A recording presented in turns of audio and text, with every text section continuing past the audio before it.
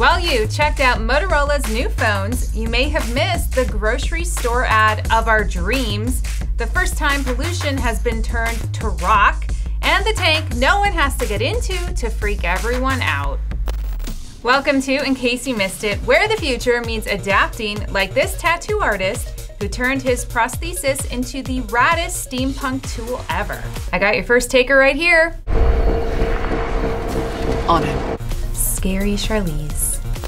Israel Aerospace Industries, basically the Stark Industries of the country, has a new combat robot that is not fooling around. It's called Robattle and is made of modular pieces. So it can be switched out for either advanced guard missions or surveillance. It can use either wheels or tracks and be equipped with robotic arms or straight up remote controlled weapons. That made me uncomfortable. Drum roll, please! In the first ever use case of this thing environmental scientists have been talking about forever, please check out this amazing rock. This beautiful rock basically reacts with carbon dioxide and then converts the carbon dioxide to this type of rock, this white stuff. Here's another slide. Not as simple as it looks, this was regular old pollutant carbon from emissions at a power plant in Iceland.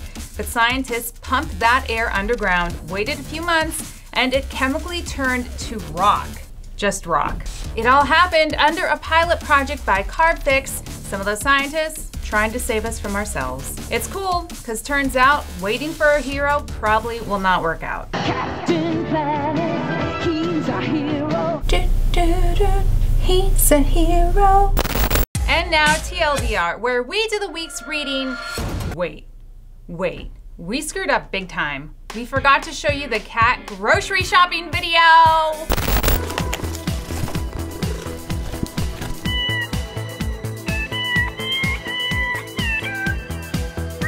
Oh, no, no, no, no. Where were we?